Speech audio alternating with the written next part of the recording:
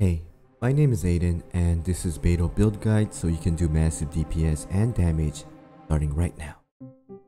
Beidou has to be one of the most like waifu and she packs a huge punch when it comes to dealing damage. The key part of this Electro character is that she supports and don't need much stage time and does really good damage in the game. Her E skill comes with press and hold. If you press, you don't need to worry about taking damage, but the DPS done will be significantly lower and you want to utilize this mechanic by using hold as this ability allows Beidou to have a shield up which absorbs max damage off of Beidou's max HP. The damage released after taking maximum damage will be magnificent as this ability comes with high damage potential while tanking damage at the same time. One of the mechanic to understand is how this ability withstands damage by either taking high damage from monsters or from low hitting monsters which is enabled by stacks. Taking damage from low hitting monsters takes at least 2 hits from them so you'll need to understand how each monsters work and how they attack to master Beidou's counter ability. Easiest way to actually proc this ability is if you have a pyro character applying pyro effect on the grass which makes it really easy to proc this counter but this mechanic don't really work in dungeons in Spiral Abyss just when you're roaming around the world. You can also perfect parry when you time it perfectly as the enemy attack and you use the E skill at the same time.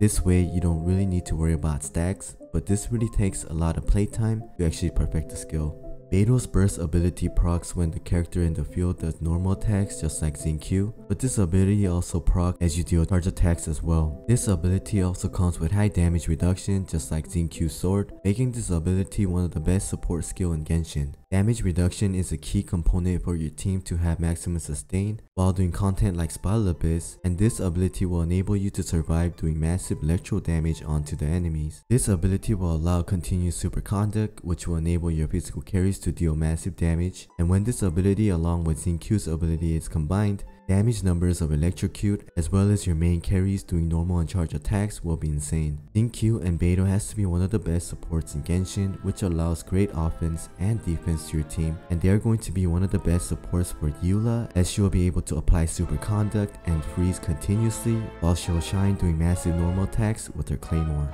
Hey, how you doing today? Allow me to introduce you to my Beidou build. She's level 85 with the weapon of choice, I use Wolf's Gravestone along with Blackwood Slasher. For the artifacts, I didn't have time to grind Thundering Fury, so I used 2-piece Glad and I also used 2-piece Noblesse for the burst build.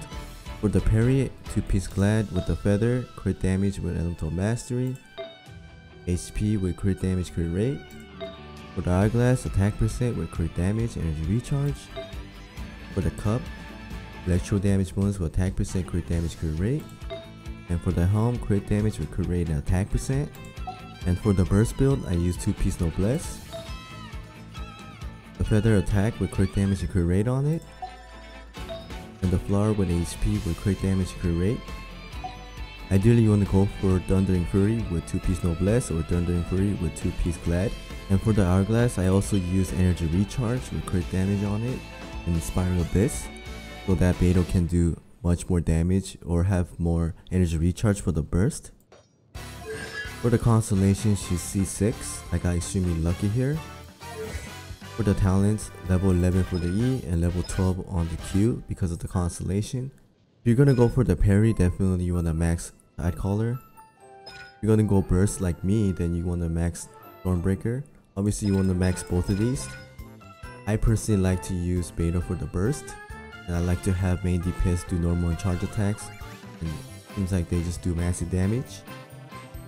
And for the physical build you want to actually max this out and I'll leave everything in the description below for the Beidou build so you can just skip over.